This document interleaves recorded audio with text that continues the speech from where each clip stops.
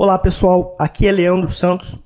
Aprenda o resumo das estratégias gravadas ao vivo com a comprovação das ordens das operações reais da Vale 5, envolvendo dinheiro real no day trade e saiba as probabilidades e tendências de longo prazo de ativos para a modalidade Position Trading.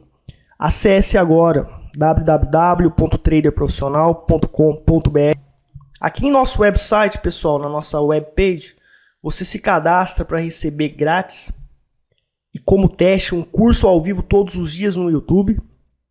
E você aprende grátis vários segredos e táticas, principalmente sobre psicologia do trade. Se cadastrando por aqui, antes de comprar o curso, você pode fazer esse curso grátis, testar, comprovar a eficácia do nosso método e depois talvez fazer a sua compra ou não. E você pode pelas redes sociais, pelo Facebook, Twitter e YouTube também receber as videoaulas. Nós divulgamos nessas redes sociais. Acesse nossos artigos secretos clicando aqui e aprenda grátis muitos segredos nesses artigos secretos revelados, várias táticas profissionais. Bom dia, pessoal. São 9h47, infelizmente acabou a luz aqui para mim, tá? Tô sem luz aqui. O horário aqui, tô sem internet, claro, também, 9h48.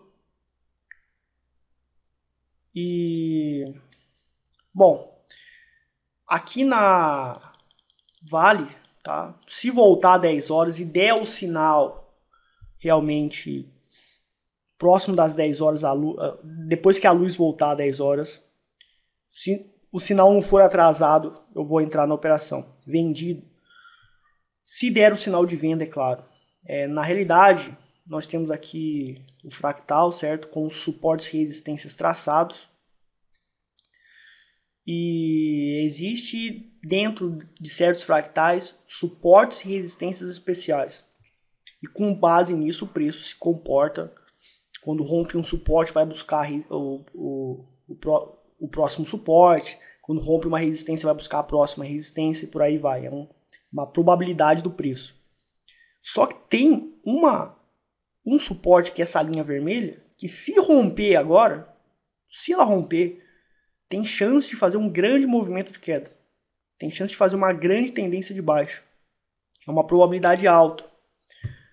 E eu não posso estar operando exatamente no rompimento, mas como base desse rompimento, eu posso estar entrando vendido na operação se o preço der o sinal de venda nas médias móveis com condição técnica favorável para acertar o sinal.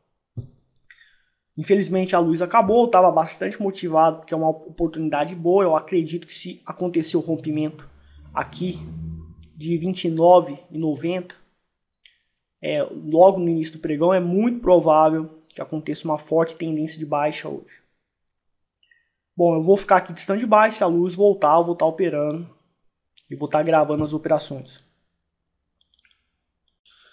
Bom, pessoal, voltou a energia elétrica aqui e 14:38 6 de fevereiro de 2014. Bom, na Vale nós temos essas principais resistências e suportes traçadas no fractal do mercado. Para quem não sabe, tá, pessoal, fractal é em resumo, é um desenho específico que o mercado está fazendo e que indica é, em certos pontos condições técnicas favoráveis para operar ou não. E probabilidades também, por meio desse fractal, a gente sabe probabilidades de direção do mercado. Então nós temos aqui essas resistências e suportes já traçadas.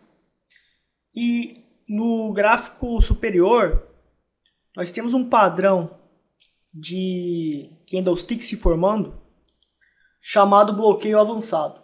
Então isso aí já indica que o mercado cansou de subir. E o principal, é o alvo realmente desse movimento de alta era um alvo já que já foi atingido, que foi nesse ponto 3102. Então o preço está cansado, ele tende a cair. Certo? Dá para a gente operar uma reversão de tendência, mas está consolidado aqui. Então a gente tem que esperar e aguardar a consolidação romper Eu tenho até 3,15, 3,45 para iniciar uma operação. Depois disso já não compensa para mim. E eu acredito que se houver o rompimento de consolidação, dá para a gente estar tá iniciando uma operação de reversão de tendência. E um detalhe, né? A gente tem aqui o início do pregão. Veja que ficou o tempo todo longe da, das médias móveis. Então, eu não teria feito operação, porque eu só opero é, nas médias móveis mesmo, que é o ideal eu estar tá iniciando a operação. Portanto, não houve. Eu não estava disponível de manhã porque acabou a luz, mas de qualquer maneira eu não teria feito operação mesmo. Muito bem, pessoal. Houve aqui o rompimento da consolidação para cima. Então, depois de tanto tempo testando aqui, se rompeu, realmente a chance é de continuar subindo. O problema é que eu não posso entrar nessa operação porque o risco disso aqui, meu. Olha o stop onde que tá. Tá me dando 22, 22 centavos. Eu não vou poder entrar com quase nada se eu quiser respeitar o manejo de risco de 0.3. Então eu ganharia uma micharia para estar tá perdendo 300 reais. Talvez eu ganharia se variasse 1%. 300 reais também, um risco 1 para 1. Então não compensa. E por isso que eu não vou entrar. Tem chance, eu acredito que o movimento de alta vai acontecer, porque rompeu para cima embora fez é, um padrão, vários padrões né, de candles no gráfico superior, mas como eu falo, o gráfico, o, o mercado ele muda a probabilidade dele direto. Por isso que, que a gente pode aprender com isso hoje? O que a gente pode aprender é que você nunca vai ganhar dinheiro do mercado seguindo analistas e seguindo consultores. Por quê? A probabilidade do mercado muda direto. Então nunca vou falar para você que a Petrobras vai cair ou vai subir e que realmente é provável que vá lá e que aconteça e que a gente pode esquecer disso. Não, pode ser que daqui a cinco dias mude os padrões do mercado e eu vou dizer não, agora a probabilidade está contra, a probabilidade está de alta. O mercado ele muda de probabilidade direta. Então vocês viram que a minha opinião antes era não, vai cair. Daí agora já rompeu essa consolidação, descaracterizou a probabilidade de queda temos uma probabilidade de continuação de alta. Eu acho que vai acontecer, eu acredito, é, pela probabilidade que vai acontecer, um movimento de alta. Tem chance de acontecer um grande movimento de alta com esse rompimento e principalmente porque o mercado está mostrando muita força, porque veja que ele tentou romper várias vezes, tá? Ele, fez, ele tentou várias vezes romper essa, essa zona aqui de consolidação e ele rompeu finalmente. Então ele está com uma força poderosa, mas eu não posso entrar porque é disciplina, eu devo respeitar meu risco, porque se você vacila no mercado e é indisciplinado, você quebra, você perde dinheiro. É, o que vai fazer você sobreviver no mercado é a disciplina. Você tem uma estratégia, você tem que ser disciplinado, como um robô foi programado para executá-la. Então, o robô, pela minha estratégia, não pode entrar aqui porque o manejo de risco é muito grande. Se rompesse aqui e desse um, um, um, risco de 9 centavos, eu entrava. Eu ia entrar. Mas isso aqui não dá para operar, porque está muito grande mesmo o risco. Tá? O nosso stop está aqui. Por isso que eu não gosto de operar rompimento de consolidação, é um absurdo.